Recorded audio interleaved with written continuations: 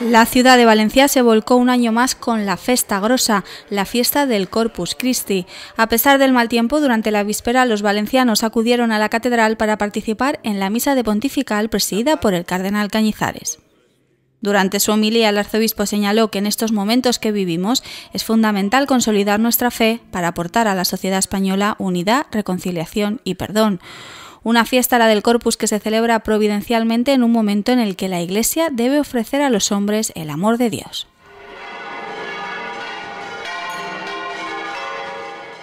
La Iglesia siempre y sobre todo en estos momentos, como en otras épocas, tenemos que llevar a cabo lo que aprendemos y reclama este sacramento del cuerpo y la sangre de Cristo.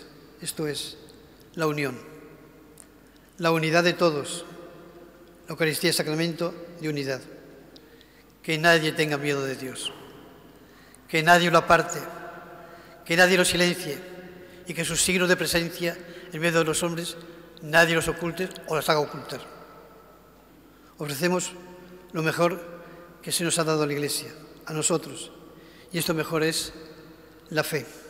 El misterio de la fe que hoy celebramos no es el poder, la lucha por el poder lo que salva, ni tampoco la moralidad, ni la traición, ni las maniobras para vencer e imponerse sobre los otros vencidos y derrotados, ni la falsedad, ni la mentira, las argucias civilinas o el odio, la división, la que nos abren caminos de futuro para edificar una sociedad y una ciudad nueva. Mal comienzo, cuando se comienza desde ahí.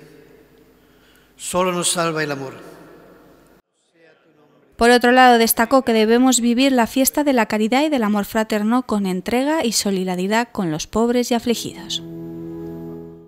Celebrar con esplendor la fiesta de Corpus reclama no pasar de largo de los necesitados, ni menos aún utilizarlos para los propios intereses.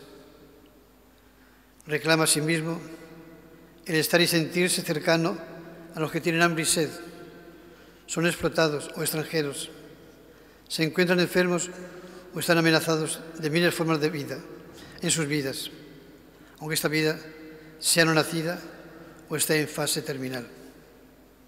No podemos celebrar esta fiesta y olvidar a los parados, a los afligidos, a las mujeres maltratadas, a los tristes, ignorar tantas situaciones de precariedad de malos tratos y de exclusión que se dan en nuestro entorno. Por la tarde tuvo lugar la procesión eucarística desde la Puerta de los Apóstoles de la Catedral, que recorrió las calles del centro de Valencia arropada por cientos de valencianos. Tres horas de recorrido presidido por el cardenal Cañizares, acompañado por sus obispos auxiliares, monseñores Esteban Escudero y Arturo Ross, así como por Santiago García Aracil, arzobispo emérito de Mérida, Badajoz, y Joan Piris, obispo emérito de Lleida. La custodia de los pobres, la de la catedral, fue diseñada y realizada desde 1942 durante 12 años por el orfebre valenciano Francisco Pajarón.